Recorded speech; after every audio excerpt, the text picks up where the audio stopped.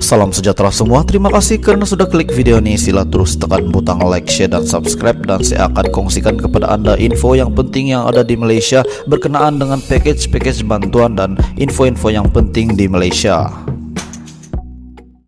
Pada 28 Jun, Kerajaan hari ini melancarkan package perlindungan rakyat dan pemulihan ekonomi ataupun pemulih bernilai RM 150 bilion merangkumi suntikan langsung fiskal sebanyak RM 10 bilion bertujuan memberikan bantuan menyeluruh kepada rakyat, kata Perdana Menteri Tan Sri Muhyiddin Yassin. Beliau berkata, Bantuan itu menumpukan kepada tiga fokus utama yaitu meneruskan agenda prihatin rakyat, menyokong perniagaan dan meningkatkan vaksinasi. Setakat ini sebanyak 200 200 bilion telah disalurkan dan memberi manfaat kepada lebih 20 juta rakyat serta 2,4 juta perniagaan.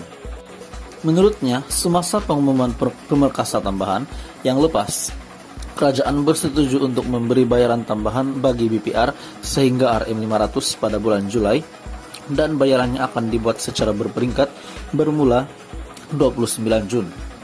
Manakala BPR fase ketiga dengan kadar bantuan antara RM100 hingga RM1400 akan dibayar pada September hadapan.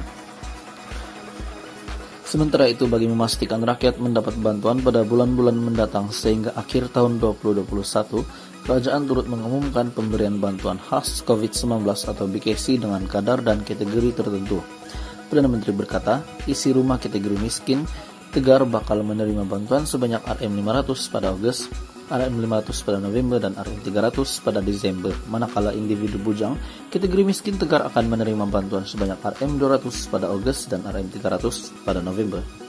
Isi rumah B40 pula akan menerima bantuan sebanyak RM500 pada Agustus dan RM300 pada Desember, manakala kategori bujang B40 akan menerima bantuan sebanyak RM200 pada bulan Agustus. Bagi istri rumah kategori M40 pula, beliau berkata mereka turut menikmati bantuan sebanyak RM250. Manakala bujang kategori M40 akan menerima RM100 pada Agustus. Terima kasih karena sudah menonton video ini. Sila terus tekan butang like, share, dan subscribe. Dan saya akan terus memberikan info yang terbaik di video yang seterusnya. Terima kasih.